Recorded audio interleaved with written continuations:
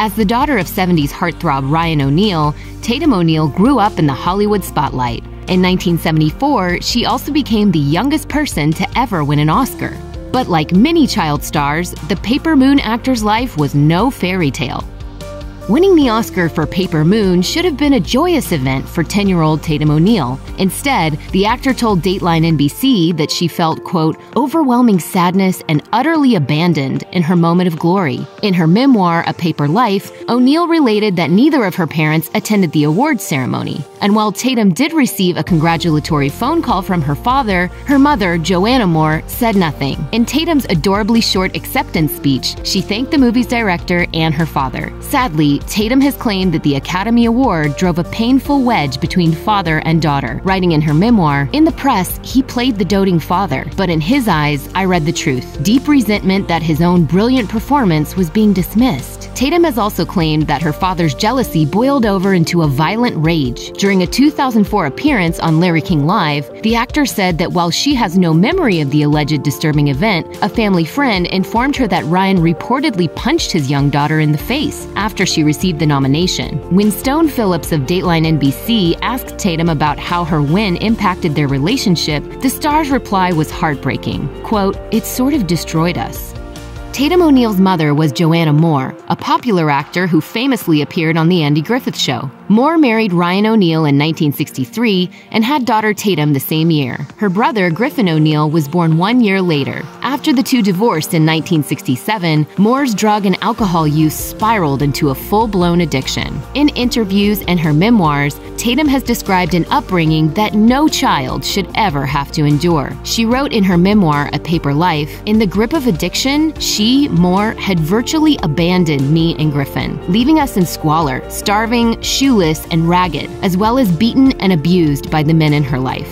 In her second book, Found A Daughter's Journey Home, Tatum claimed that she and her brother were once locked in a garage and forced to eat dog food to keep from starving. The neglect and abuse became so severe that Moore lost custody of her children in 1970. Tatum was only six years old. Moore continued to act through the mid 80s, but tragically never got sober and was arrested multiple times for alleged DUIs. She died from lung cancer in 1997 at the age of 63. In a show of empathy for her late troubled mother, Tatum lamented on The Wendy Williams Show in 2018 2018 that Moore was, quote, marginalized and pushed aside due to her addiction issues.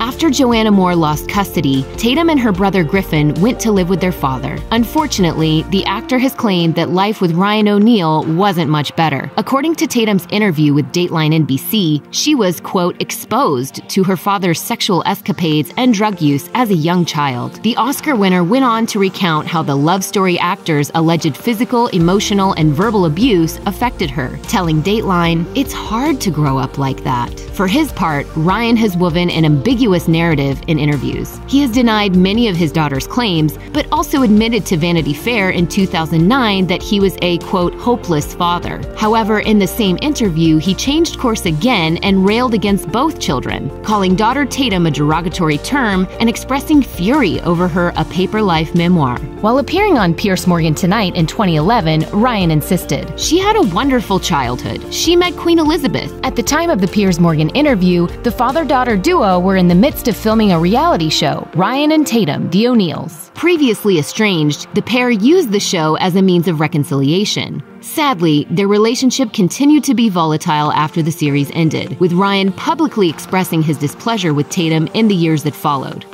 Tatum O'Neal's childhood was made even more hellish by sexual abuse. When speaking with Dateline NBC about a paper life in 2004, O'Neal confirmed that her mother often left her alone with strangers who preyed upon her as a child. She also discussed another tragic event. A friend of her father's reportedly gave her drugs and then assaulted her. During her 2018 appearance on The Wendy Williams Show, the actor told the host that she was also molested by her mother's boyfriend's brother. That October, O'Neal posted a heartbreaking post on Instagram, which read, I am a woman, and I have been sexually assaulted more than once. It was not my fault when I was 5, 6, 12, 13, 15, all by older men who I thought were safe.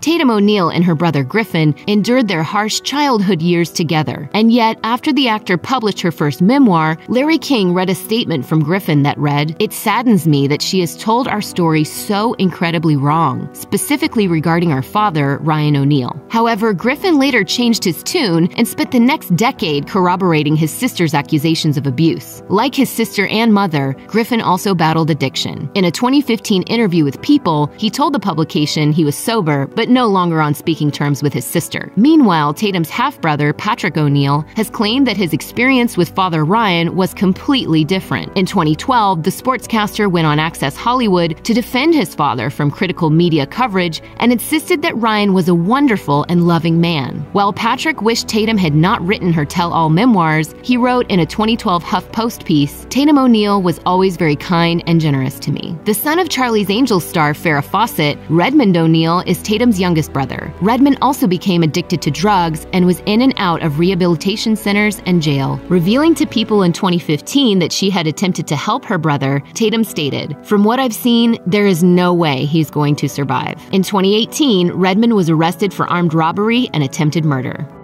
When Tatum O'Neal married John McEnroe in 1986, the attractive, famous couple seemed to have it all. But the bad boy of tennis and the former child star had a notoriously tumultuous relationship. Both O'Neal and McEnroe have written about their drug use, but O'Neal admitted that she was the one who was truly addicted. The actor told Dateline NBC that as the years went on, McEnroe's alleged temper increased, and during one fight, he reportedly pushed and kicked her. The couple divorced in 1994. After the separation, there was a custody battle over the pair's three young children, and O'Neal's drug use spiraled out of control. After McEnroe told the world about O'Neal's drug abuse in a tell all book, the Bad News Bears actor retaliated by accusing the tennis pro of using steroids. McEnroe eventually remarried, and regardless of their decades long estrangement, O'Neal told People in 2015, I would say there isn't a relationship, but there is respect now. Despite her accusations of bullying and abuse, O'Neal expressed regret over her decision to divorce McEnroe McEnroe in a CBS Sunday morning interview in 2020. The actor mused, The happiest times in my life were the times that I was married. I was loved, I was cared for. I've never met anyone who even comes close to my ex husband.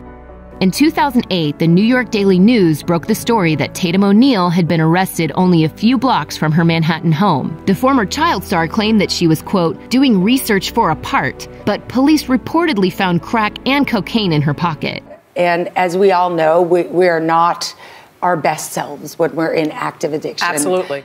According to a source cited by the publication, O'Neal supposedly pleaded with the police officers. I've been clean for a long time. Today was the first time I was relapsing, but you guys saved me. After being released on bail, O'Neal spoke with the New York Post and reiterated that the police saved her and insisted that she was still sober. The actress explained that she was feeling incredibly depressed after the death of her dog, but added, I'm eternally grateful, as sort of grim as the situation was, that I didn't get to do what my disease disease was telling me to do. According to ABC News, O'Neal was charged with misdemeanor criminal possession of a controlled substance, but agreed to enter a treatment program. A few months later, O'Neal told people, I'm sober. I thank God every day I've been able to overcome my demons and my stuff.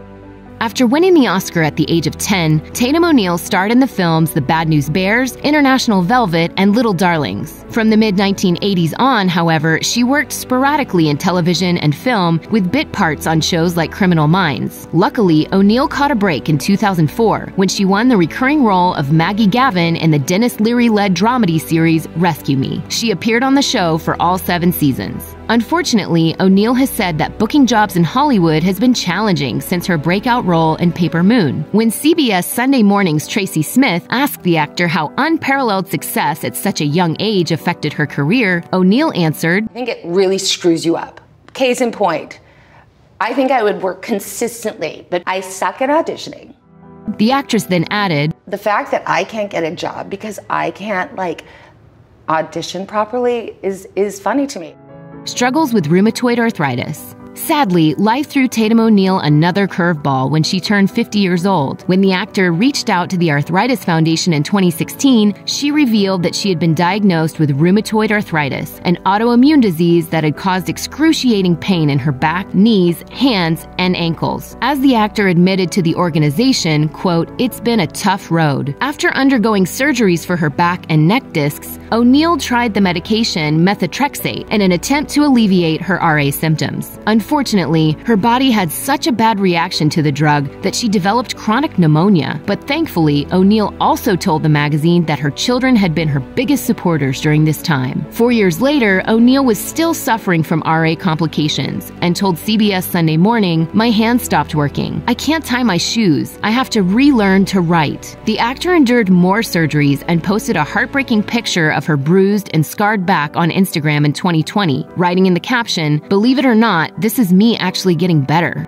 Tatum O'Neal's first suicide attempt occurred when she was only 12 years old. The actor described what led her to the dark moment in A Paper Life and with Dateline NBC. O'Neal traveled to Europe with her father, his friend, and her best friend, 18 year old Melanie Griffith. She reportedly walked in on her father and Griffith together and became so distraught at the betrayal that she attempted to take her own life. After she woke up, the actor realized that she had been sexually assaulted by her father's friend. In October 2020, anonymous law enforcement sources claimed to TMZ that O'Neal had allegedly threatened to take her own life. As is standard, the actor was reportedly taken to a hospital and placed on a psychiatric hold for further evaluation. As of early March 2021, neither O'Neal nor her representative had publicly discussed the alleged incident. If you or someone you know is having suicidal thoughts, please call the National Suicide Prevention Lifeline at 1 800 273 TALK 8255 or text HOME to the crisis text line at 741 741.